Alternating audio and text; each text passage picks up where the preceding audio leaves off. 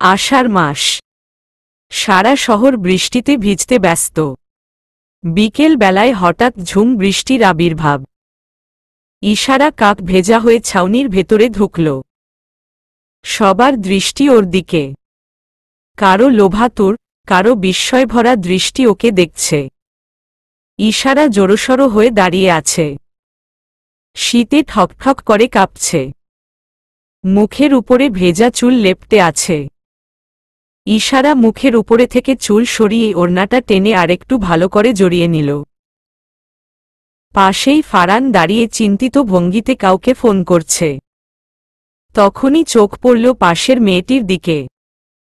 ভেজা পোশাকে জুবুথুবু হয়ে দাঁড়িয়ে শীতে কাঁপছে। মেয়েটি নিচের দিকে চেয়ে আছে। হয়তো লজ্জায় কারও দিকে তাকাচ্ছে না। ফারান আবারও মোবাইলের দিকে মনোযোগ দিল। ফারান মোবাইলে কাউকে বলছে, সন্ধ্যা নেমে আসছে আর তুমি বলছো অপেক্ষা করতে? ভিজে ও যেতে পারছি না। একটু বৃষ্টির ফোঁটা লাগলেই জ্বর চলে আসে। আগামীকাল অফিসে আমার গুরুত্বপূর্ণ মিটিং আছে। প্রজেক্টে কাজ করার জন্য নতুন কর্মীরা আসবে। উফ, অফ, রফ, তাড়াতাড়ি করো। অপর পাশ থেকে কি বলল শোনা গেল না। ইশারা চোখ তুলে সবার দিকে চোখ বুলিয়ে নিল। ছাউনির ভেতরে ও সহ ছজন মানুষ। ও ছাড়া বাকি পাঁচজন সবাই পুরুষ। পাঁচজনের মধ্যে একজন বাবার বয়সী, বাকি সবাই যুবক। ইশারার ভয় লাগছে খুব। সন্ধে নেমে আসছে। অচেনা জায়গা, অচেনা শহর। সবকিছুই নতুন। পথঘাট কিছুই চেনে না।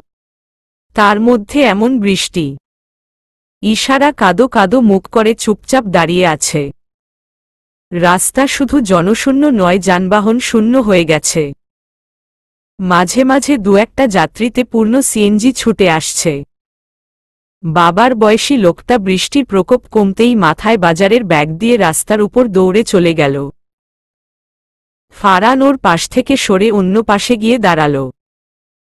ইশারা সাইড ব্যাগ থেকে মোবাইল বের করে অন করার চেষ্টা করছে কিন্তু অন হচ্ছে না, ব্যাটারি ডেড। চোখে মুখে বিরক্তি ভর করছে। পাশের ছেলেগুলো ফিসফিস করে, কি জানি বলছে। ইশারা আর চোখে ওদের দিকে তাকাল।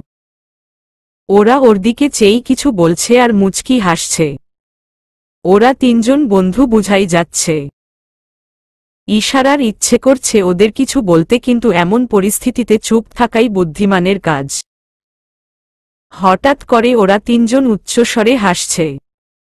একজন বলছে, ভাই, হেব্বি কিন্তু। আরেকজন বলছে, উফ অফ জোশ। ইশারা এতক্ষণ যে ভয় পেয়েছিল তাই হচ্ছে। ওরা এতক্ষণ হয়তো বাবার বয়সী লোকটার জন্য ভদ্রতা দেখিয়েছিল। এখন চলে যেতেই আসল রূপ দেখিয়ে দিল।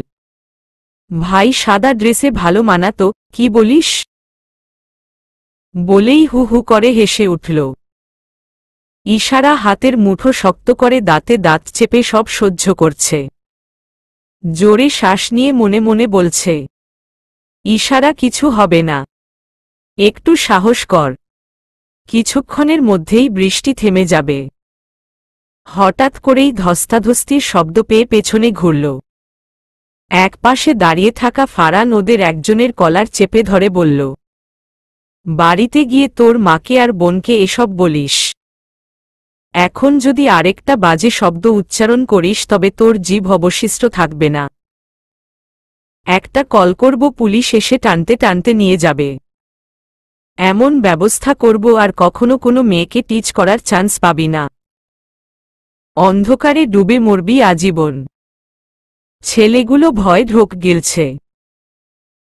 পোশাক বলছে, মধ্যবিত্ত ঘরের ছেলে তাই স্যুট কোট পরা লোকের হুমকিতে ভয় পেয়ে গেল। ভয়ার্ত চোখে ফারানের দিকে চেয়ে আছে। কাপা কাপা কণ্ঠে হাত জোর করে বলল, ভাই, ছেড়ে দিন, আর কখনো এমন করব না। ওদের দুজন বৃষ্টিতেই দৌড় দিল।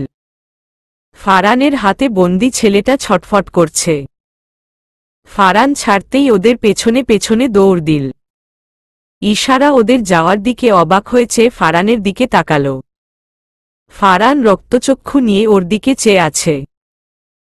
ইশারা বুঝতে পারছে না ইনার আবার কি হল। ফারান ওর দিকে এগিয়ে এসে বলল, কেমন মেয়ে তুমি? এই বৃষ্টির মধ্যে কেন বের হয়েছ? এক ঘণ্টা ধরে বৃষ্টি হচ্ছে। দেখো না আজকাল কত ঘটনা ঘটছে। চোখে পড়ে না তোমাদের? তোমার বাড়ির মানুষই বা কেমন? একা একা ছেড়ে দিল? অদ্ভুত। ইশারা ওর কথা শুনে নিচু স্বরে বলল, আমি এই শহরে নতুন। আমার বাসা ঢাকায়। চাকরির সুবাদে রাজশাহী এসেছি। আর এখানে এসেই যত বিপত্তি। বৃষ্টির কবলে পড়েছি। ফারান আর কিছু বলল না। অনেক দূর থেকে এসেছে আর নিশ্চয়ই ইমার্জেন্সি ছিল। চাকরি যে কারও জন্য ইমার্জেন্সি। না জেনে এতটা রিয়েক্ট করা উচিত হয়নি। ফারান অনুতপ্ত হল। তারপর ইশারার দিকে চেয়ে বলল, সরি। ইশারা স্নিগ্ধ হেসে বলল, ইটস ওকে।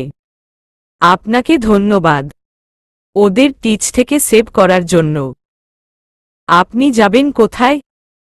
ইশারা ভালো করে ফারানকে পর্যবেক্ষণ করল। স্যুট কোট পরা ফর্মাল ড্রেস আপ। চেহারার গড়ন চাহুনি, হেয়ার স্টাইল বলছে নম্র, ভদ্র মানুষ। কিন্তু এতটুকুই কি একজনকে বিশ্বাস করার জন্য যথেষ্ট? ভদ্রতার আড়ালে কি মানুষের আরেকটা রূপ নেই? এর আগে কি মুখোশ পরা মানুষের মুখোমুখি হয়নি? জীবনটা তছনছ হয়ে যায়নি? ইশারা দীর্ঘশ্বাস ছাড়ল। মাগরিবের আজান ভেসে আছে। বৃষ্টি কমার নামে নেই। জনমানবশূন্য রাস্তায় ইশারা আর ফারান ছাড়া কেউ নেই। তাই আপাতত এই মানুষটাকে বিশ্বাস করা ছাড়া আর উপায় নেই। না চাইলেই তার সাহায্য নিতে হবে। ইশারার এতটা সময় নেওয়া ফারানের মনে কোনো প্রশ্নের উদয় ঘটাচ্ছে না। ইশারা যে ওকে পুরোপুরি বিশ্বাস করতে পারছে না সেটা বোধগম্য হতে সময় লাগেনি। শুধু কি ভালো মানুষ হলেই ক্ষণিকের পরিচয় একজন আরেকজনকে বিশ্বাস, ভরসা করবে? তা কি উচিত হবে? উহু, একদমই অনুচিত। ইশারা আমতা আমতা করছে আর হাতের মোবাইলটা হাত দিয়ে ঘষছে। আসলে আমার মোবাইলের ব্যাটারি ডেড ম্যাসেঞ্জারে অ্যাড্রেসটা ছিল। আমি তেমন খেয়াল করে দেখিনি তাই বলতে পারছি না। ইশারার তখনই মনে পড়ল ও একটা কাগজে টুকে রেখেছিল। ব্যাগ থেকে অনেক খুঁজে সে কাগজ বের করল। ওর চোখে মুখে খুশি রাভা। দ্রুত কাগজের ভাজ খুলল। কাগজটা ভেজা ভেজা লাগছে। ভাজ খুলতেই মুখের হাসি মিলিয়ে গেল। কাগজ ভিজে কলমের লেখাগুলো অস্পষ্ট হয়ে গেছে। ইশারা ফারানের দিকে তাকাল। ও উৎসুক দৃষ্টিতে চেয়ে আছে। ইশারা শুকনো মুখে বলল, ভিজে লেখা অস্পষ্ট হয়ে গেছে। ফারান ওর হাত থেকে কাগজটা নিল। অনেক চেষ্টা করেও বুঝতে পারছে না। ইশারার দিকে বিরক্তি নিয়ে তাকাল।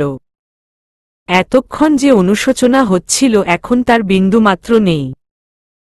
এখন বিরক্ত লাগছে এই মেয়ের কাণ্ড দেখে। ফারান মনে মনে বিড়বিড় করে বলছে, বোকা একটা মেয়ে। আমি তো ভেবে পাই না এই মেয়ে একা এত দূর কি করে এলো?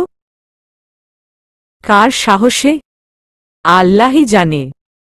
ফারান ওর হাতে কাগজ ফেরত দিয়ে বলল, আর কোনো ওয়ে আছে? ফারান পকেট থেকে মোবাইল বের করে আবারও কারও নাম্বারে ডায়াল করছে। ইশারা ওর মোবাইলের দিকে চেয়ে আছে কিন্তু বলতে ইতস্তত করছে। জোরতা কাটিয়ে বলল, আমি একটু আপনার মোবাইলটা পেতে পারি? একটা কল করব। কলের মাধ্যমে আমি অ্যাড্রেস পেতে পারি। ফারান নিজের মোবাইল ওর দিকে এগিয়ে দিল। ইশারা জলদি নাম্বার তুলে কল করল অহনাকে। রিং হতেই অহনা কল রিসিভ করল। অহন, আমি ইস্যু বলছি। আমার মোবাইলে চার্জ নেই। আর এই বৃষ্টিতে একটা অটো, সিএনজি কিছুই পাচ্ছি না। কাক ভেজা হয়ে যাত্রী ছাউনির নিচে দাঁড়িয়ে আছি। রাত হয়ে যাচ্ছে। আমি কি করব বুঝতে পারছি না। অনেক ভয় লাগছে। অহনা সবটা শুনে বলল রিলেক্স ভয় পাস না। সাহস রাখো। এই মোবাইল কার? আমার সাথে একজন ছাউনির নিচে দাঁড়িয়ে আছে, তার মোবাইল নিয়েছি। তিনি ঠিকানা জিজ্ঞেস করছে বলতে পারছি না। আচ্ছা উনার কাছে দে। ইশারা ফারানকে মোবাইল দিয়ে বলল, আপনার সাথে কথা বলতে চায় ফারান মোবাইল কানে নিয়ে সালাম দিল। অহনা অপর পাশ থেকে বলল ভাইয়া প্লিজ এই বৃষ্টিতে ওকে একা ছাড়বেন না, ও কিছু চিনে না রাস্তাঘাট। আপনাকে বিশ্বাস করছি। বিশ্বাসের অমর্যাদা করবেন না। অ্যাড্রেস বলুন। আমি উনাকে পৌঁছে দেওয়ার চেষ্টা করব। অহনা অ্যাড্রেস বলল। ফারান জানালো ওর গাড়ি আসলেই ইশারাকে পৌঁছে দেবে। অহনা শেষবারের মতো ইশারার সাথে কথা বলে বলল। চোখ কান খোলা রাখিস। কাউকে বিশ্বাস নেই বুঝলি? সাবধানে আসবি। আমি বাসার নিচে থাকব। ইশারা আচ্ছা বলে কল কেটে দিল। ফারান হেলান দিয়ে দাঁড়িয়ে আছে। ইশারা হাত বাড়িয়ে মোবাইল দিল। দুজনেরই চুপ করে দাঁড়িয়ে আছে। ইশারার শরীর শুকাতে শুরু করেছে। ইশারা প্রশ্ন করল আপনার গাড়ি আসতে কতক্ষণ লাগবে? অ্যাকচুয়ালি আমি যখন অফিস থেকে ফিরছিলাম তখন হঠাৎ গাড়িতে কিছু সমস্যা হয়। ড্রাইভার গাড়ি ঠিক করতে গ্যারেজে গিয়েছে আর আমি এখানে বসে আছি। চলে আসবে। আধা ঘণ্টা পর ফারানের গাড়ি এল। ইশারা ফারানের গাড়িতে প্রাণটা এক প্রকার হাতে নিয়ে ওঠেছে এই ঝড় বৃষ্টির রাতে অপরিচিত একজনের গাড়িতে যাওয়াটা যথেষ্ট ভয়ের ব্যাপার। ইশারা দোয়া দরুদ পড়ছে। ফারান ভাবলেশহীনভাবে ওর পাশে বসে আছে। কিছুক্ষণের মধ্যেই অহনার বলা বাড়ির সামনে গাড়ি থামল। অহনা ছাতা নিয়ে গাড়ির দরজার সামনে এসে দাঁড়াল। ইশারার মনে হচ্ছে এই বুঝি শ্বাস এলো। ব্যাগ নিয়ে বাইরে বের হল। অহনা ওর ব্যাগ নিল।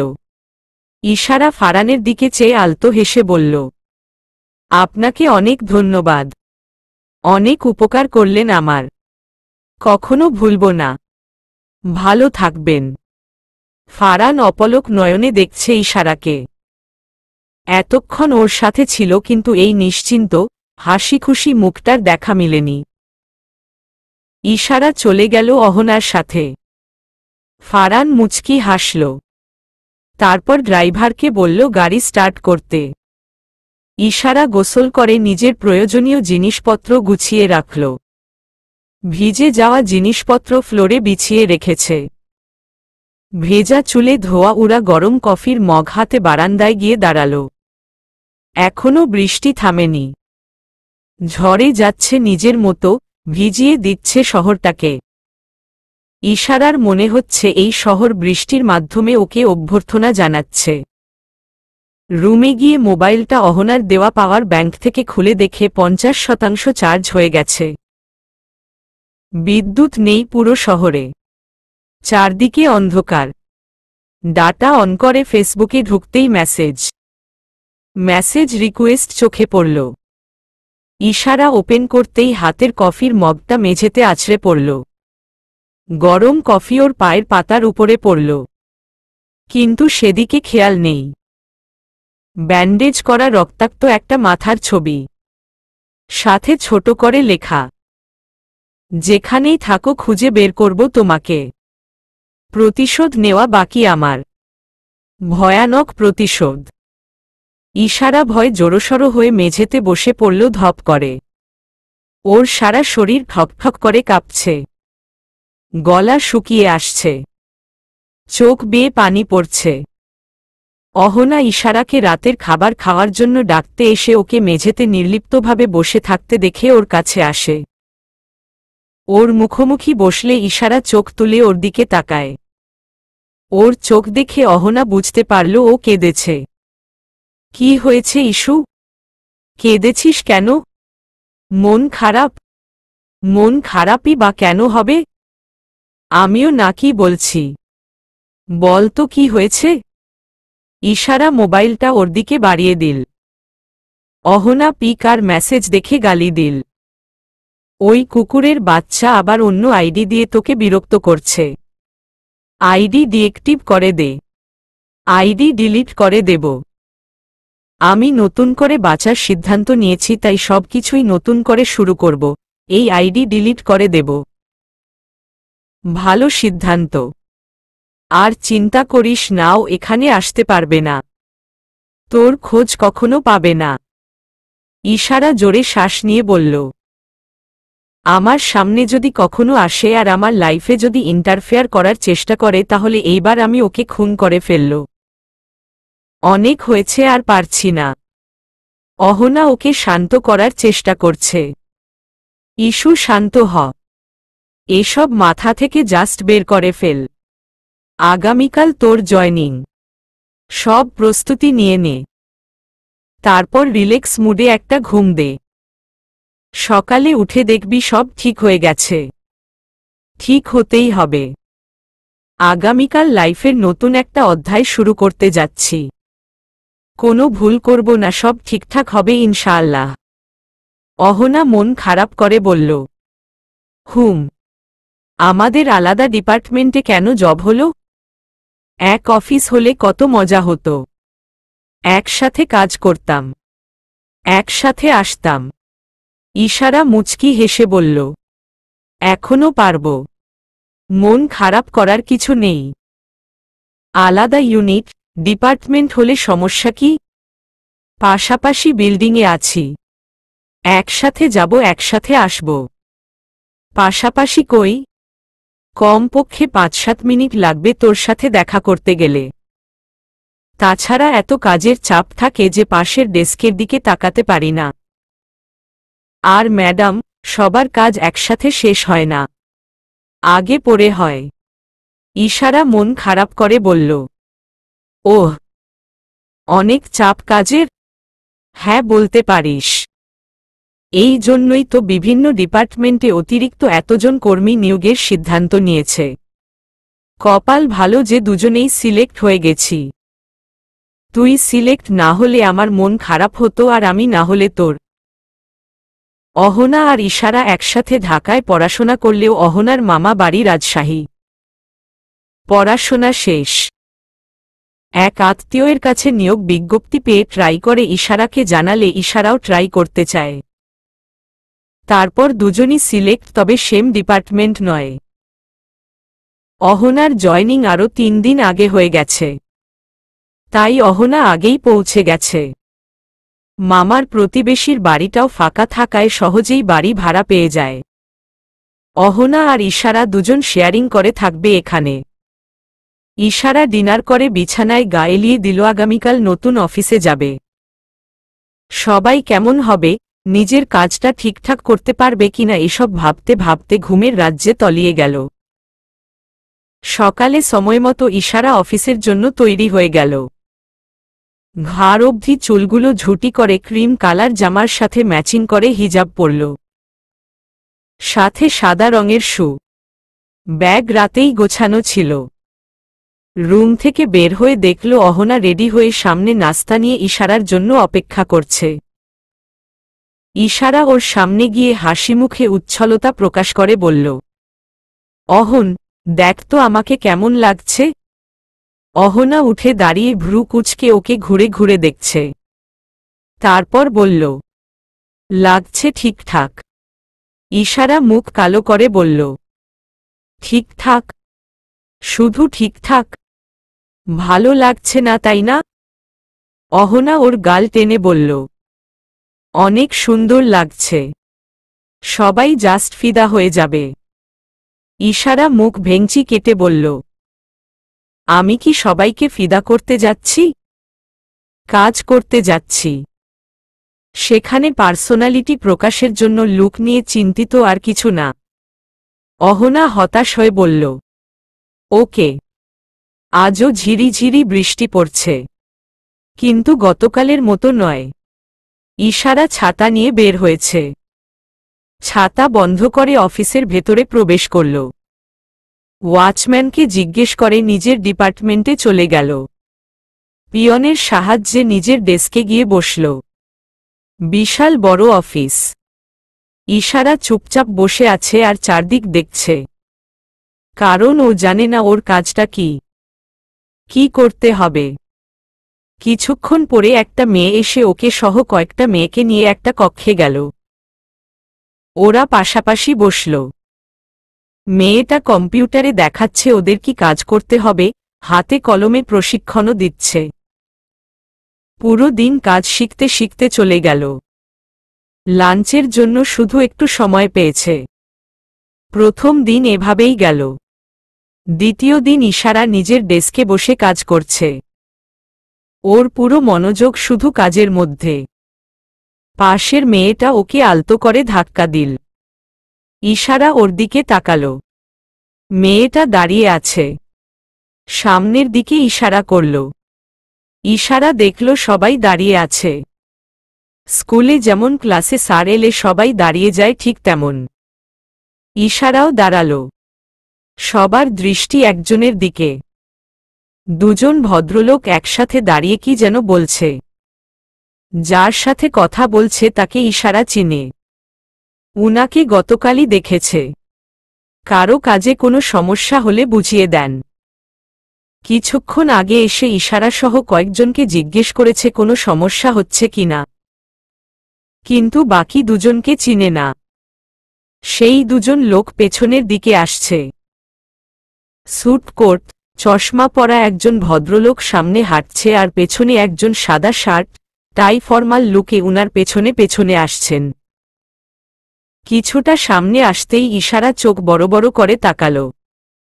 ও যেন স্বপ্ন দেখছে। চোখ বন্ধ করে আবারও খুলল। তারপর ভালো করে দেখল। না, একদম ভুল দেখেনি। ইশারা পাশের মেয়েটাকে জিজ্ঞেস করল, আপু, ইনি কে? মেয়েটা এখানকার পুরনো কর্মচারী। তাই চেনার কথা। হি ই যাওয়ার বস। ইশারা বিস্ময় নিয়ে বলল, বস। কোম্পানির মালিক। মেয়েটা মুচকি হেসে বলল, উহু। উনি আমাদের ডিপার্টমেন্টের দায়িত্বে আছেন।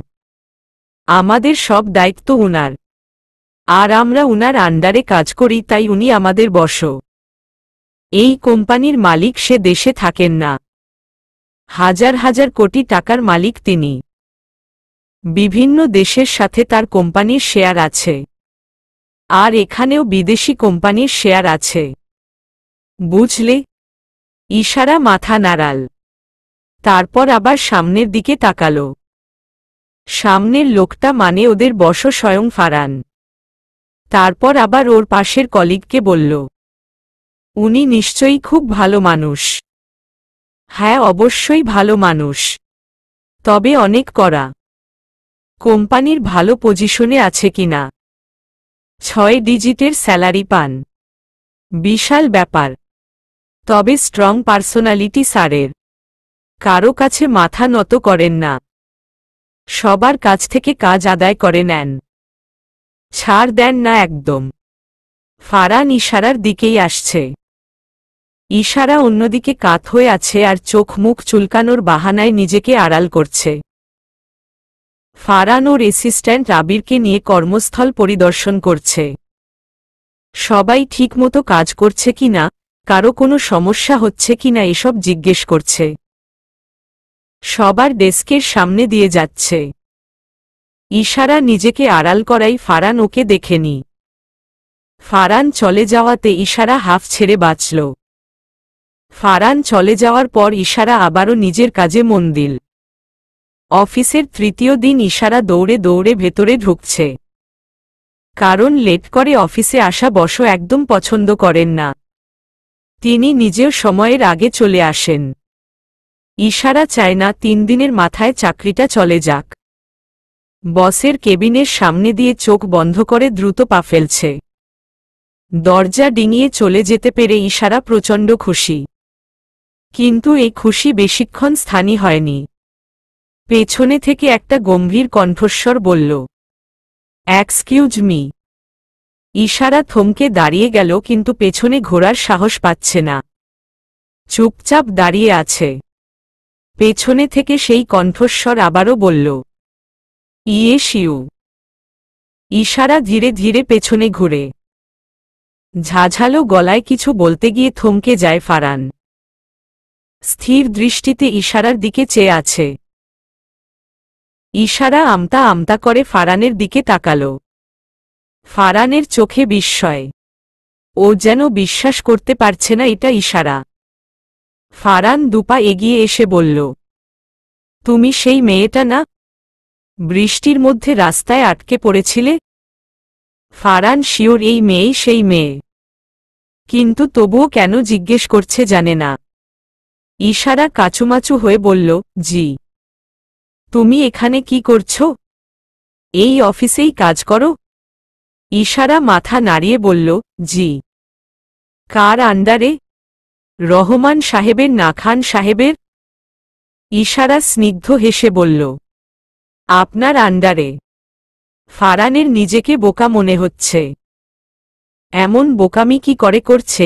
কি করে বোকার মতো কথা বলছে? ইশারা যখন ওর কেবিন ওর ইউনিটের সাথে, তাহলে অন্যের আন্ডারে কেন হবে? সব গুলিয়ে যাচ্ছে কেন বুঝতে পারছে না। আমার আন্ডারে কাজ করছ অথচ আমিই জানি না। কি অদ্ভুত। জি না স্যার, অদ্ভুত না। আমি তিন দিন ধরে জয়েন করেছি। আপনার আন্ডারে কত মানুষ কাজ করে, এত মানুষকে কি আপনার মনে রাখা সম্ভব? একদমই না। আমি আপনাকে চিনি কারণ আপনি আমার বস্তাই ফারান কথা বলছে না।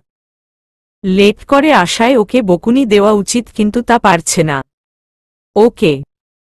মন দিয়ে কাজ করো। কোনো সমস্যা হলে জানাবে। ইশারা আর ফারানকে বিব্রত করতে চাইছে না। তাই মুচকি হেসে নিজের ডেস্কের দিকে গেল। ফারান এসে দূর থেকে ইশারাকে কয়েকবার দেখে গেল। ও নিজের মতো কাজ করছে চুপচাপ। কারও সাথে কথা বলে না, কারও দুকে তাকায় না। ক্লান্ত হয়ে পড়লে চোখ বন্ধ করে চেয়ারে হেলান দিয়ে কিছুক্ষণ বসে থাকে। একটু পানি খায়। ফারান ওর কাজের প্রতি একনিষ্ঠতা দেখে মুগ্ধ হচ্ছে। হঠাৎ করে ইশারার এক মেয়ে কলিগ ফারানের অ্যাসিস্ট্যান্ট রাবিরের কাছে ছুটি চাইল। তিনি প্রেগন্যান্ট। ভারী শরীর জানান দিচ্ছে ছ সাত মাসের জার্নিতে আছেন। শরীর খারাপ লাগছে। কিন্তু আবির কিছুতেই ছুটি দিতে চাইছে না। ইশারা সেদিকে তাকাল। মেয়েটাকে দেখে মায়া হচ্ছে। চেহারায় ক্লান্তির ছাপ স্পষ্ট। ইশারা মনে মনে বলছে, যদি উনার জন্য কিছু করতে পারতাম। তখনই ইশারা উঠে দাঁড়িয়ে বলল, স্যার উনার শরীর নিশ্চয়ই খুব খারাপ। চেহারা তাই বলছে, আমি উনার বাকি কাজগুলো করে দেব। উনাকে যদি সম্ভব হয় ছেড়ে দিন। আমার কাজ শেষ করে উনার কাজ করে দেব। মেয়েটা সহ আবির ইশারার দিকে অবাক হয়ে চেয়ে আছে। কি বলছে এসব? এত কাজের চাপ, কেউ নিজেরটা করতে চায় না, সেখানে অন্যেরটা করে দেবে? যদিও ইশারার এসবে অভ্যাস আছে। আবিরের চোখ ফারানের দিকে পড়ল। ফারান ইশারা করল। আবির বলল, ঠিক আছে। মেয়েটি অশ্রুসিক্ত নয়নে বলল, অনেক অনেক শুক্রিয়া। আল্লাহ তোমার সহায় হোক। ইশারা মুচকি হাসল। বিকেল সাড়ে চারটা। প্রতিদিন চারটায় অফিস ছুটি হয়ে যায়। ফাঁকা অফিসে পিনপতন নীরবতা বিরাজমান। এত বড় অফিসকে নিস্তব্ধতা ঘিরে ধরেছে। ইশারা নিজের মনে কাজ করছে। ফারান উকি দিয়ে ইশারাকে দেখল একবার। সাথে হাতের ঘড়ির দিকে তাকাল। তারপর ইশারার দিকে এগিয়ে গেল। ইশারা এক ধ্যানে কাজ করছে। ফারান ওর সামনে গিয়ে দাঁড়িয়েছে তা টেরি পায়নি। ফারান গলা খাকারি দেওয়ায় ইশারা চমকে উঠল। ফারানকে দেখে বসা থেকে দুম করে দাঁড়িয়ে গেল। তারপর আমতা আমতা করে বলল, জি, স্যার। আর কাজ করতে হবে না। সব গুছাও। ইশারা ইতস্তত করে বলল, কেন স্যার? বাইরের অবস্থা দেখেছ? কালো মেঘে ছেয়ে গেছে। মনে হচ্ছে কিছুক্ষণের মধ্যেই ঝমঝম করে বৃষ্টি নামবে। ইশারা কালো রঙের একটা ছাতা দেখিয়ে বলল, আমি আজ ছাতা নিয়ে এসেছি। তাছাড়া অটো, রিকশা না পেলেও সমস্যা নেই। হেঁটে হেঁটে আধ ঘণ্টার মধ্যেই পৌঁছে যাব ফারান বিরক্তি নিয়ে বলল, এত বেশি বুঝো কেন ইশারা ফারানের কথা শুনে থমকে গেল। কিছুটা বিব্রত বোধ করছে। তারপর বলল, কিন্তু স্যার, আবির স্যারকে যে বলেছি কাজ কমপ্লিট করে যাব। ফারান ওর টেবিলে হাতের ভর দিয়ে শীতল কণ্ঠে বলল, আমি বসো না তুমি? শীতল কণ্ঠস্বর শুনে ইশারার ভেতরেও শীতল প্রবাহ বয়ে গেল। জি আপনি। ফারান সোজা হয়ে দাঁড়িয়ে পকেটে হাত গুজে বলল, সো ইশারা স্নিগ্ধ হেসে বলল, আমি সব গুছিয়ে নিচ্ছি। তারপর ইশারা সব গোছাতে ব্যস্ত হয়ে পড়ল। ফারান স্থান ত্যাগ করল। ফারান যেতেই ইশারা চোখ তুলে একবার ফারানের যাওয়ার দিকে তাকাল। গুড়ি গুড়ি বৃষ্টি পড়ছে। ইশারা ছাতা খুলে মাথার উপরে দিয়ে মেইন গেট থেকে বেরিয়ে এল। রাস্তার ধারে দাঁড়িয়ে ডানে বামে দেখছে। একটা রিকশাও পেয়ে গেল। রিকশাওয়ালা সামনে আসতেই ইশারা উঠতে গিয়েও থেমে গেল। মামা, ভাড়া কত? রিকশাওয়ালা মাথায় গামছা বাঁধতে বাঁধতে বলল, ষাট টাকা। ইশারা চোখ কপালে তুলে বলল, কি? ত্রিশ টাকার ভাড়া ষাট টাকা? ডাবল ভাড়া কেন দেব? আপা, আবহাওয়া দেখছেন? জোরে বৃষ্টি আইব। ইশারা ভ্রু কুচকে বলল, তো? জোরে বৃষ্টি আসলে কি আপনার রিক্সা হেলিকপ্টার হয়ে যাবে না বৃষ্টির পানি থেকে আমাকে বাঁচাতে পারবে? তাহলে ডাবল ভাড়া কেন চাচ্ছেন? ঠিক আছে, চল্লিশ টাকা দেব। না আপা, হইব না। না হলে বৃষ্টি বিলাস করুন। আচ্ছা পঞ্চাশ টাকা দিয়েন। এক টাকাও বাড়াব না। দরকার পড়লে ভিজে ভিজে হেঁটে যাব। তারপর মুখ বাঁকাল। রিক্সাওয়ালাও ভাব দেখিয়ে চলে গেল। ইশারা আবারও ডানে বায় রিক্সা খুঁজছে। ফারানের গাড়ি ওর সামনে এসে থামল। ফারান গ্লাস নামিয়ে বলল, এই যে মিস, আসুন, আমি আপানাকে পৌঁছে দেব।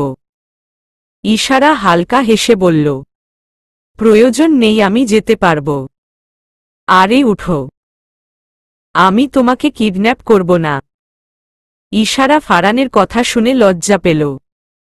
অস্বস্তি নিয়ে বলল, আসলে তার নয়, স্যার। আপনি চলে যান, আমি যেতে পারব। ইশারার কাছে বিষয়টা মোটেও ভালো লাগে না।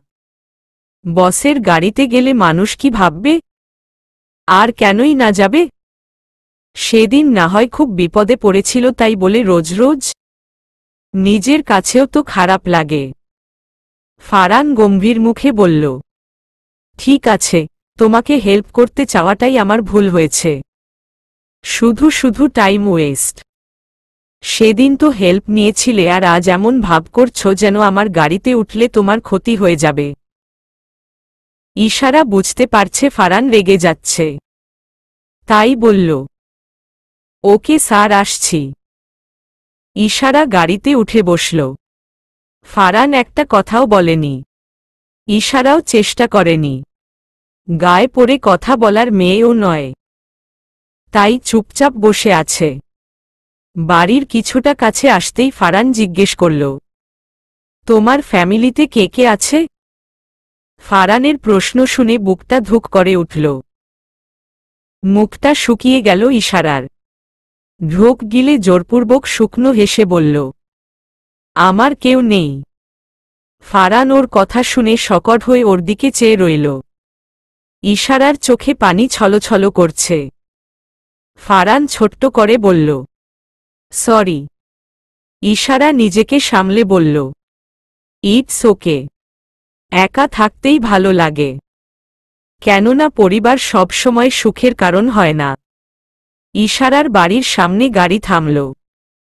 ইশারা যেন হাফ ছেড়ে বাঁচল। ফারান আর কিছু প্রশ্ন করার সুযোগ পায়নি। ইশারা বিব্রতবোধ করে ব্যক্তিগত প্রশ্নের সম্মুখীন হতে। ইশারা গাড়ি থেকে নেমে ফারানের দিকে চেয়ে বলল, ধন্যবাদ, স্যার। ইশারা নিজের রুমে গিয়ে ফুল স্পিডে ফ্যান ছেড়ে বসে আছে। মনে হচ্ছে শরীরে আগুন জ্বলছে। অহনা ওর আগে এসে ফ্রেশ হয়ে খেয়েও নিয়েছে।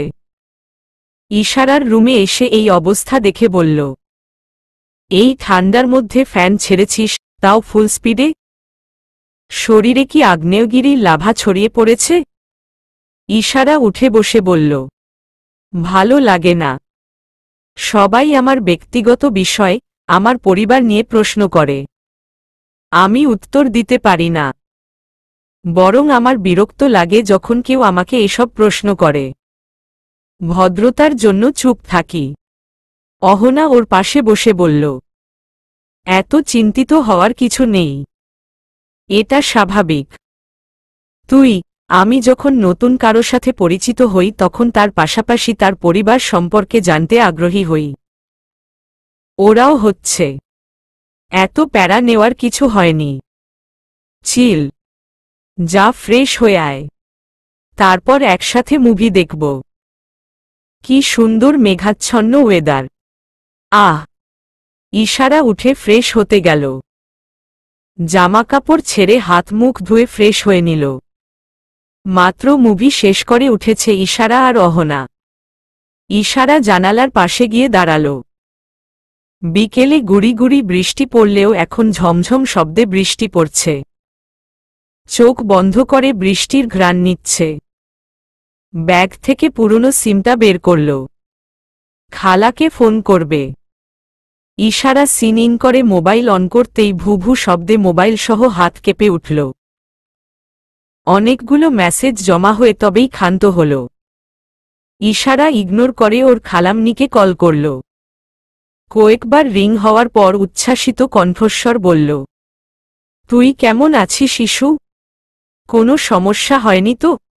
ইশারা জোরে শ্বাস ফেলে বলল, আলহামদুলিল্লাহ ভালো আছি। সব কিছু ঠিক আছে। ওদিকে কি অবস্থা? এই দিকে কি সিচুয়েশন হবে সেটা তো জানাই ছিল। এদিকের ঝড় এখনও থামেনি। এসব বাদ দে। তুই এসব নিয়ে একদম মাথা ঘামাস না। নিজের খেয়াল রাখিস। যত্ন নিস। জি খালা মনি দোয়া করো। আমার দোয়া সব সময় তোর সাথে আছে। তুমিও নিজের খেয়াল রেখো, ভালো থেকো। আচ্ছা অনেক রাত হয়েছে খেয়ে শুয়ে পড়। আচ্ছা রাখছি। কল কেটে ইশারা না চাইতেও একটা মেসেজ ওপেন করল। তুমি কি ভেবেছ পালিয়ে বাঁচতে পারবে? আমি তোমাকে খুঁজে পাব না? দেখি কতদিন পালিয়ে বাঁচতে পারো। তুমি নিজে থেকেই আমার কাছে ধরা দেবে। আর সেদিন আমি তোমার জীবন নরক বানিয়ে দেব। সেদিনের অপেক্ষায় অধীর আগ্রহে দিন পার করছি। ইশারা মেসেজটা পড়ে চোখ বন্ধ করল। ওর অজানা নয়েই আননন নাম্বার কার আর কে মেসেজ করেছে। তারপর ছোট করে শ্বাস ফেলে মোবাইল থেকে সিমটা বের করে বিড়বিড় করে বলল আমি তোমার হাতে ধরা দেওয়ার আগে আকাশের বাসিন্দা যেন হয়ে যাই। ইশারা ওই দিন আর রাতের খাবার খায়নি। শুয়ে শুয়ে নিজের অতীতের কথা ভাবছে। বুঝো হবার আগেই মাত্র পাঁচ বছর বয়সে মাকে হারায়। সেদিন থেকে জীবনের দুর্দশা শুরু হয়। সেই দুর্দশা যেন আজও নিয়ে ঘুরছে। সেদিনের পর থেকে খুশি থাকা ভুলে গেছে। সুখ কি জিনিস অনুভব করতে পারেনি। জীবন কালো অন্ধকারে ঢেকে গেছে, আজ আলোকিত করার উদ্যোগ নিয়েছে। ইশারা সেই প্রেগন্যান্ট কলিগের সাথে দেখা করে, তার খোঁজ খবর নিল। ওর নাম পারুল। ইশারার সাথে খুব ভালো সম্পর্ক হয়ে গেছে। কাজের ফাঁকে ফাঁকে টুকটাক কথা বলে ওরা। ইশারা লাঞ্চ বক্স নিয়ে পারুলের টেবিলের দিকে যাচ্ছে। তখনই এক ভদ্রলোক পারুলের টেবিলের উপর হাত ভর দিয়ে কি যেন বলছে। ইশারা এগিয়ে গেল আরেকটু সামনে। ভুড়িওয়ালা লোকটা পারুলের শরীরের দিকে কামুক দৃষ্টিতে চেয়ে আছে। প্রেগনাসির জন্য নাদুস নুদুস পারুলের শরীর ভারীর পাশাপাশি অনেক ভাজ পড়ে গেছে। লোকটা অদ্ভুত চাহনি দিয়ে বলল, ভালোই তো আজকাল তোমাকে আর কাজ করতে হচ্ছে না। যখন তখন চলে যাচ্ছ। ভারী পেটের কত সুবিধা, তাই না? তারপর ফিক করে বিশ্রীভাবে হেসে দিল। পারুলের গায়ে আগুন ধরে যাচ্ছে। কিন্তু কিছু বলছে না। তারপর হাসি থামিয়ে বলল, না, আসলেই তো পারো তোমার এই পেট নিয়ে। বিশ্রীভাবে আবারও তাকাল। ইশারার শরীরেও আগুন ধরে যাচ্ছে। কেউ কোনো মেয়েকে বাজে নজরে দেখলে, তাকে নিয়ে আজেবাজে কথা বললে কিংবা অত্যাচার করলে ওর সহ্য হয় না। কিন্তু নতুন তাই কিছু বলছে না। যদি চাকরি চলে যায়? এই চাকরি ওর ভীষণ প্রয়োজন। ইশারা ঠাস করে বক্স রেখে বলল, কি সমস্যা আপনার? বিরক্ত করছেন কেন উনাকে? ইশারার দিকে চোখ বুলিয়ে নিয়ে বলল তুমিও তো পারুলের কাজ করে দেও। কত ভালো সার্ভিস দেও ওকে। আমাদের দিকেও মাঝে মধ্যে নজর দিও। ইশারা চটপট উত্তর দিল। ঠিক উত্তর না প্রশ্ন। কেন আপনি কি প্রেগন্যান্ট? পেটে বাচ্চা লালন পালন করছেন? লোকটা ভ্রু কুচকে ক্ষিপ্তভাবে ওর দিকে তাকাল। ইশারা হালকা হেসে বলল, পেট তো তাই বলছে কিন্তু সেটা কি করে সম্ভব? ও আচ্ছা অখাদ্য খেয়ে ভুড়ি বানিয়েছেন? লোকটা ইশারাকে পারলে খেয়ে ফেলে। দাঁত খিটমিট করে বলল, এই মেয়ে, তুমি দেখছি ভারী অসভ্য। বসের কাছে নালিশ করে তোমার চাকরি খাচ্ছি, দাঁড়াও। পারুল ভয়ার্ত চোখে তাকাল। ইশারা চুপ করে চেয়ার টেনে বসে বলল অখাদ্য খেয়ে হয়নি, এখন আমার চাকরি খাবে। লোকটা হনহন করে চলে গেল। পারুল বলল, কি করলে এটা? ডেঞ্জারাস লোক উনি। তোমার চাকরিটা আর রইল না। ইশারা ভেবেছিল ফাঁকা আওয়াজ, কিন্তু এখন পারুলের কথা শুনে ভয় লাগছে খুব। চাকরি চলে গেলে ইশারার জন্য খুব কঠিন হয়ে পড়বে। এই চাকরির বলে নিজের শহর ছেড়েছে। এখন যদি চাকরিটাই না থাকে তবে খাবে কি? উনি অফিসের সিনিয়র আর বিশ্বস্ত একজন। উনার প্রায়োরিটি বেশি হবার কথা। ইশারা ফারানের রুমের সামনে দাঁড়িয়ে আছে। আজ বুঝি চাকরিটা যাবেই। ওর ভেতরে যেতে ইচ্ছে করছে না। তবুও যেতে হবে। ও দরজার সামনে দাঁড়িয়ে বড় করে শ্বাস ফেলল। নিজেকে বুঝাচ্ছে যা হবার হবে ভেতরে যাওয়া যাক। ইশারা শক্তি সঞ্চার করে ভেতরে যাওয়ার জন্য মনস্থির করল। কপাল আর ঠোঁটের উপর থেকে ঘাম মুছে নিল। পেঁচার মতো মুখটা নিয়ে কিছুতেই ভেতরে যাওয়া যাবে না। ইশারা চায় না নিজেকে দুর্বলভাবে উপস্থাপন করতে। তাই নিজেকে যথাসম্ভব স্বাভাবিক করে দরজার হ্যান্ডেলে হাত দিল। ইশারা ভেতরে গিয়ে দেখে ওর আগেই সেই ভুড়িওয়ালা লোকটা হাজির। ভুড়িওয়ালা লোকটার নাম আনিস রহমান। তিনি যে স্যারের কাছে বেশ ভালো করেই ওর নামে নালিশ করেছে জানা আছে। পারুল শিখিয়ে দিয়েছে ইশারাকে কোনো প্রতিবাদ না করে সরি বলে নিও। তবেই চাকরিটা বাঁচবে। একটা চাকরির জন্য কি কি করতে হবে ভেবেই ইশারা দীর্ঘশ্বাস ছাড়ল। অপরাধ না করেও সব মেনে নিয়ে সরি বলতে হবে। ইশারা একবার আনিসের দিকে চেয়ে এগিয়ে গেল।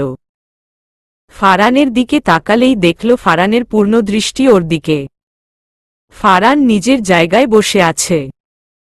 ইশারা বরাবর দাঁড়িয়ে বলল, জি স্যার, আমাকে ডেকেছিলেন। ফারান হাতের কলম নাড়িয়ে বলল, আপনি নিশ্চয়ই বুঝতে পারছেন আপনাকে কেন ডাকা হয়েছে? ইশারা মাথা নিচু করে বলল, জি স্যার, বুঝতে পারছি। ফারান অবিশ্বাস্য ভঙ্গিতে দাঁড়িয়ে গেল। তারপর বলল, আপনি কি তাহলে অপরাধ স্বীকার করে নিচ্ছেন? ইশারা তাৎক্ষণিক ফারানের দিকে তাকাল। অপরাধ না বলেই বলছে অপরাধ স্বীকার করছে কি না? অপরাধ? আমি কি অপরাধ করেছি? আনিস রহমান বসা থেকে দাঁড়িয়ে গিয়ে বলল, কি অপরাধ? নাটক করছেন? ক্যান্টিনে এতগুলো মানুষের সামনে আমার অপমান করেছেন, আমার পেট নিয়ে মজা করেছেন। এখন জিজ্ঞেস করছেন, আপনার অপরাধ কি? যেন কিছুই জানেন না। ফারান আনিস রহমানের দিকে দৃষ্টি রেখে উনার কথা শুনছিল। উনার কথা শেষ হতেই ইশারার দিকে তাকাল। ইশারার রিয়েকশন দেখার জন্য। ইশারা চোখ বড় বড় করে বলল, ব্যাস এটুকুই। আপনি কি বলেছেন সেগুলো হাইড করে গেলেন? আমি বলেছি পারুলকে যেমন হেল্প করেন, তেমন আমাদেরও তো একটু করতে পারেন। আর আপনি কি বললেন? আপনি কি প্রেগন্যান্ট? ভুড়িওয়ালা এটা সেটা বলে অপমান করেছেন। সাহস থাকলে পুরো ঘটনা বলুন। নিজেকে সেভ করার জন্য যে পয়েন্টগুলো প্রয়োজন, শুধু সেটুকুই বলে যাচ্ছেন কেন? ফারান দুজনকে তর্ক করতে দেখে বলল, স্টপ। একজন একজন করে বলুন। মিস ইশারা, আপনি উনাকে এসব বলেছেন? ইশারা ভয় না পেয়ে সোজাসাপটা বলল হ্যাঁ বলেছি, তবে এভাবে নয়। অন্যভাবে। উনি ভুলভাবে উপস্থাপন করছেন। ফারান যেন এসব একদমই আশা করেনি ইশারার কাছে। তাই গম্ভীর মুখে বলল উনি আপনার চেয়ে সিনিয়র। উনার সাথে আপনার এভাবে কথা বলা ঠিক হয়নি। এক কথায় অন্যায় করেছেন। ইশারা বুঝতে পারছে ফারান ওর প্রতি রেগে যাচ্ছে। ইশারার নিজেরও লজ্জা লাগছে। আনিস রহমান ওকে ঝগড়ুটে, বেয়াদব মেয়ে হিসেবে উপস্থাপন করছে। ইশারা কণ্ঠস্বর নরম করে বলল, কেন বলেছি সেটা তো জিজ্ঞেস করুন। ফারান দুহাতের ভর টেবিলের উপর দিয়ে বলল আচ্ছা বলুন কেন বলেছেন? উনি পারুল মেমকে আজেবাজে কথা বলছিলেন। উনার প্রেগনাসি নিয়ে মজা করছিলেন। বাজে ইঙ্গিত করছিলেন। আনিস ক্ষিপ্র হয়ে বলল, তাই নাকি? এখন আমার চরিত্র নিয়ে প্রশ্ন তুলছেন? আমাকে চরিত্রহীন বানিয়ে দিচ্ছেন? স্যার পারুল মেমকে ডাকুন তাহলেই সব ক্লিয়ার হয়ে যাবে। ইশারাও আনিস রহমানের সাথে একমত হয়ে বলল, অবশ্যই। আপুকে ডাকুন, তাহলেই সব ক্লিয়ার হয়ে যাবে। ইশারা অতি কনফিডেন্সের সাথে বলল ফারান পারুলকে ডেকে পাঠাল। পারুল আসতেই ইশারা এগিয়ে গিয়ে বলল, আপু লাঞ্চ টাইমে কি হয়েছিল বলুন তো? ইশারা আনিসের দিকে তাকাল। আজ তার মুখোশ উন্মোচন হবে। ভালো মানুষের আড়ালে তার যে কুৎসিত রূপ আছে সেটা প্রমাণ হবে আজ সবার সামনে। পারুল কিছুই বুঝতে না পারান ভান করে বলল, কি হয়েছিল ইশারা? ইশারা অবাক চোখে পারুলের দিকে তাকাল। পারুলের চোখ মুখ স্বাভাবিক। ও এমন ভান করছে কিছুই জানে না। আর কিছুই হয়নি। সব কিছু স্বাভাবিক আছে। আনিস রহমান হালকা হেসে বলল, আমি নাকি তোমার সাথে বাজে বিহেভ করেছি? আজে বাজে কথা বলেছি। পারুল মৃদু হেসে ফারানের দিকে তাকাল। তারপর বলল, জি না স্যার। আমরা লাঞ্চ করতে করতে স্বাভাবিকভাবেই গল্প করছিলাম। ইশারার হয়তো বুঝতে ভুল হয়েছে। ওকে ক্ষমা করে দিন স্যার। আনিস স্যার, আপনিও ওকে ক্ষমা করে দিন। ও ছোট মানুষ বুঝতে পারেনি। ইশারার পায়ের নিচ থেকে যেন মাটি সরে যাচ্ছে। কি করে এক মুহূর্তে মানুষ বদলে যেতে পারে? কি করে সত্যকে মিথ্যা প্রমাণ করে? মুখের উপরে চোখের দিকে চেয়ে এত সহজে মিথ্যা বলতে পারে? ইশারা অনেক কষ্ট পায় পারুলের কথা শুনে। যার জন্য এই সিচুয়েশনে এসে দাঁড়িয়েছে সেই এখন লাথি মারছে। ওর ভেতরটা হুহু করে উঠে মানুষ চিনতে এত বড় ভুল করল? এভাবে ঠকে গেল? ইশারা আহত কণ্ঠে বলল, বাহ, পারুল আপু, দারুণ অভিনয় করতে পারো তুমি। এই তোমার জন্য আমি সহানুভূতি দেখিয়েছি। এই তোমাকে হেল্প করেছি বিনা এভাবে আমাকে মিথ্যাবাদী প্রমাণ করলে আমি তো তোমার জন্যই স্ট্যান্ড নিয়েছিলাম। আর তুমি? ইশারার গলা ধরে আসছে। চোখে পানি এসে পড়ছে। মনে হচ্ছে এখনই বাঁধ ভেঙে অশ্রু ঝরবে। চোখের পানি কন্ট্রোল করতে পারছে না। তারপর ভাঙা গলায় বলল, স্যার, আমার আর কিছু বলার নেই। আপনি যে শাস্তি দিতে চান, আমি রাজি আছি। এক্সকিউজ মি ইশারা বেরিয়ে যেতে যেতে আনিস রহমান বলল, স্যার, উনাকে এভাবে ছেড়ে দিবেন? ইশারা দরজার সামনে ধমকে দাঁড়িয়ে গেল। ফারান আনিস রহমানের দিকে চেয়ে বলল, অবশ্যই নয়। যে অন্যায় করেছে তাকে শাস্তি পেতেই হবে। এখন আপনারা সবাই আসতে পারেন। আমি আগামীকাল এ নিয়ে কথা বলব। আজকে আমার মিটিং আছে। ফারানের কথা শেষ হতেই ইশারা দরজা খুলে বের হয়ে গেল। ফারান এখনও দাঁড়িয়ে আছে। ইশারাকে ও যথেষ্ট ভালো মেয়ে ভেবেছে এতদিন। কিন্তু এখন কি হচ্ছে কিছুই মাথায় ঢুকছে না। মনে হচ্ছে এর মাঝে কোনো রহস্য আছে। কিন্তু কি সেটা ধরতে পারছে না। ইশারা অফিস শেষ করে বেরুতে গিয়ে আনিস রহমানের সাথে দেখা হল। তিনি লিফটের দরজার পাশে দাঁত কেলিয়ে দাঁড়িয়ে আছে। ইশারা তীক্ষ্ণ দৃষ্টি দিল উনার দিকে। উনার কুৎসিত হাসি গায়ে জ্বালা ধরিয়ে দিচ্ছে ইশারার, কিন্তু কিছু করার নেই ওর। কিন্তু রাগ কন্ট্রোল করতে পারছে না। এক সময় মাটির মানুষ ছিল ইশারা। রাগ বলতে কোনো শব্দের সাথে পরিচিতি ছিল না। কেউ আদুরি গলায় কিছু বললেই খুশিতে আত্মহারা হয়ে পড়ত। সব কিছু করে দিতে প্রস্তুত ছিল। সেটা যত কষ্টই হোক। কিন্তু এখন প্রচণ্ড রাগ হয়। তবে আজকের রাগটা অহেতুক নয়। বিনা অপরাধে অপরাধী হল। বসের সামনে অসম্মানিত হল। কারও ভালো করতে গিয়ে অপমানিত হতে হল। মাথা নিচু করে বেরিয়ে আসতে হল। আর যে অন্যায় করেছে সে মাথা উঁচু করে দাঁড়িয়ে আছে নির্দ্বিধায়। আর এখন দাঁড়িয়ে দাঁড়িয়ে হাসছে। ইশারা সিঁড়ি দিয়ে ধপধপ করে নামছে। রাগ যেন সব ইটপাথরের উপর ঝাড়ছে।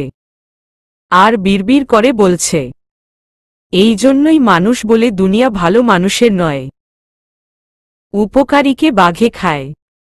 এই জন্যই কেউ কাউকে আজকাল সাহায্য করতে চায় না। কেননা সাহায্য করার পর নিজেকেই বিপদে পড়তে হয়। আর সেই বিপদে সেই ফেলে যাকে সাহায্য করে। ইশারা, যদি তোর বিন্দুমাত্র লজ্জা থাকে, তাহলে আর কাউকে কখনো সাহায্য করবি না। আজকের ঘটনা থেকে শিক্ষা নে। আজ আকাশ পরিষ্কার, মেঘ নেই। হু হু করে দক্ষিণা বাতাস বইছে। ফুরফুরে বাতাসে মন মেজাজ ফুরফুরে করে দেওয়ার কথা, কিন্তু চোখের জলে ইশারার মন ভিজছে। এই অপমান মেনে নিতে পারছে না। চোখ মুছে বারান্দা থেকে উঠে দাঁড়াল। তারপর হালকা হেসে আকাশের দিকে চেয়ে বলল, যতই ভাগ্য থেকে পালাতে চাই না কেন, পালানোর সময় তো ভাগ্যকে সাথেই নিতে হয়। তাই যতই চেষ্টা করি এসব থেকে বাঁচতে, প্রবলেম এসে দাঁড়াবেই। হতভাগী ইস্যু তোর নসিবটাই খারাপ। সুখ তোর কপালে লেখা নেই। হঠাৎ করেই অভিমানী হয়ে পড়ল ইশারা। পরের দিন শুকনো মুখে ইশারা অফিসে গেল। সবাই কীভাবে ওর দিকে তাকাচ্ছে? ইশারা দীর্ঘশ্বাস ছেড়ে নিজের কেবিনে গিয়ে বসল। কারও দিকে আর তাকাবে না। চুপচাপ বসে আছে ইশারা। কাজে মন নেই ওর। এখানে কাজ করা ওর জন্য অসম্ভব হয়ে পড়েছে। অপবাদ নিয়ে কি করে এখানে থাকবে? ইশারা মনে মনে দোয়া করছে যাতে আজ বস ওকে ফায়ার করে দেয়। নতুন একটা জব খুঁজে নিবে। যদিও সহজ হবে না। কিন্তু এই অপমানের জীবন মেনে নিতে পারবে না। টেবিলের উপর মাথা দিয়ে চোখ বন্ধ করে আছে ইশারা। আশেপাশে সবাই একটু পরপর ওর দিকে তাকাচ্ছে আর কানাঘুষা করছে। ইশারার ডাক পড়ল। ফারান ওকে ডেকেছে। ইশারা জোরে শ্বাস নিয়ে বলল, জি, আসছি। ইশারা দুহাতে মুখ চেপে ধরে কয়েক সেকেন্ডের মধ্যেই হাত নামিয়ে উঠে দাঁড়াল। তারপর কোনো দিক নাচে হনহন করে হাঁটছে। ওর হিলের শব্দে সবাই বিরক্ত। ইশারা নক করে অনুমতি নিয়ে ভেতরে ঢুকল। ফারান দুহাত পকেটে গুজে দাঁড়িয়ে আছে। ইশারাকে বসতে ইশারা করল। ফারান কিছু বলার আগেই ইশারা বলল, স্যার, আমি ইস্তফা দেব। ফারান ওর কথা শুনে অবাকের শীর্ষে। বিস্ময় কাটিয়ে রাগে গজগজ করছে। দুম করে এসে বলল, ইস্তফা দেবে? ফারান চোয়াল শক্ত করে বলল, ইস্তফা দিলেই কি দায়মুক্ত হবে? তুমি কি করে বয়সে এত বড় একজনের সাথে এভাবে কথা বলতে পারো? ইশারা উঠে দাঁড়িয়ে ভয়হীন গলায় বলল, আমি কোনো অন্যায় করিনি। তাই আপোষস আমি করব না, এই কাজের জন্য পস্তাব না। আমি রেজিগনেশন লেটার দিয়ে দেব। ফারান ঘুরে এসে ওর সামনে দাঁড়াল, ওর চোখগুলো অসম্ভব লাল হয়ে আছে। রাগে ফেটে যাচ্ছে। ইশারা ওর দিকে তাকিয়ে একটু ভয় পেল। ভয়টা প্রকাশ করতে না চেয়েও প্রকাশ করে ফেলছে। কিন্তু ফারানকে এত হিংস্র রূপে কখনো দেখেনি, আজ অন্য একজনকে দেখছে। ইশারা পিছিয়ে গেল। ফারান চেঁচিয়ে বলল, আমি তোমাকে এখানে ডেকেছিলাম কিছু কথা বলতে। আর তুমি আমাকে ইস্তফা দেখাচ্ছ? এত বড় কোম্পানিকে তুচ্ছতাচ্ছিল্য করছ? তোমাকে আমি একদম অন্যরকম ভেবেছিলাম। একদম স্বচ্ছ ঝিলের মতো। নম্র, ভদ্র, উদার মনের একজন। যে কখনো কাউকে অসম্মান করতে পারে না। যে কাউকে কষ্ট দিতে পারে না। কিন্তু না, তুমি তো। ফারান থেমে গেল। ফারান কথা বলতে বলতে ওর দিকে আগাচ্ছিল, তাই ইশারা বাধ্য হয়েই পিছাচ্ছে। ফারান ওর একদম কাছে গিয়ে রক্তচক্ষু নিয়ে শক্ত গলায় বলল, আমি গতকাল মিটিংয়ের জন্য বিষয়টি খুঁটিয়ে দেখতে পারিনি। কিন্তু রাতে ঠিক করে ঘুমাতে পারিনি। আমি তোমার এই আচরণ মেনে নিতে পারিনি। আমার মনে হয়েছে আমি তোমাকে যতটুকু চিনেছি তাতে তুমি এমন নও। আমার মনে হয়েছিল তোমার সাথে অন্যায় হচ্ছে, কিন্তু তুমি তো জোর গলায় বলছো তুমি অন্যায় করনি। ইশারা মাথা নিচু করে কাঁদছে। ফারানের কথা শেষ হতেই চিৎকার করে বলল, আমি কোনো অন্যায় করিনি। জোর গলায় বলতে পারছি কারণ আমি অন্যায় করিনি। আমার সাথে অন্যায় হয়েছে। পারুল আপু মিথ্যা বলেছে। কেন বলেছে জানি না। তবে ওই লোকটা ভদ্রতার আড়ালে একটা জানোয়ার। একটা মেয়ে খুব সহজেই একটা পুরুষের কুৎসিত উদ্দেশ্য, রূপ বুঝতে পারে। ফারান ওর কথা শুনে একটু দূরে সরে দাঁড়াল। ইশারার এত কাছে চলে গেছে খেয়ালি নেই। তার উপর ইশারা কাঁদছে। আর ইশারার বলা কথাগুলো ফারানকে আবারও নাড়িয়ে দিল। যেমনটা গতকাল অফিসে বাড়িতে ফিল করেছে। অস্থিরতায় ভুগেছে। ফারান টেবিলের উপর থেকে টিস্যু নিয়ে ইশারার দিকে বাড়িয়ে দিল। ইশারা চোখ মুচ্ছে ফারান চেয়ার টেনে ওকে বসতে দিল। ইশারা বসার পর টেবিলের উপর থেকে পানি নিয়ে ইশারাকে খেতে বলল। ইশারা পানি খেতে খেতে ফারান আরেকটা চেয়ার টেনে ওর খুব কাছে মুখোমুখি বসল। ইশারা একটু স্বাভাবিক হলে ফারান বলল, পুরো ঘটনা আমাকে খোলে বলো। একটা ওয়ার্ডও যেন বাদ না পড়ে। I want to know everything Ishara okay প্রথম থেকে সবকিছু বলল, কোনো কথার পেছনে কি বলেছে, কীভাবে বলেছে, উনার দৃষ্টিভঙ্গি, পারুলের ভীত হয়ে পড়া, ইশারাকে ওয়ান করা, সবার সামনে এসে সরি বলা এভরিথিং সব শুনে ফারান ক্ষিপ্ত হয়ে পড়ল। বসা থেকে উঠে দাঁড়িয়ে পাইচারি করছে। নিজের রাগ কমানোর চেষ্টা করছে। কপালে আঙুল দিয়ে ঘষছে। ইশারা চুপচাপ বসে রাগান্বিত ফারানকে দেখছে। ফারান ইশারার দিকে ঘুরে বলল, গতকাল কেন বলনি? ইশারা শুকনো মুখে ভয় ভয় বলল, সুযোগ পাইনি। তাছাড়া পারুল আপুর মিথ্যা কথায় অনেক হার্ট হয়েছি। তাই চেয়েও বলতে পারিনি।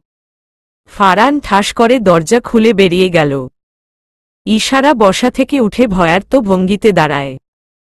তারপর ফারানকে অনুসরণ করে। ফারান যেভাবে রেগে আছে কিছু একটা ঘটিয়ে ফেলতে পারে। চলবে।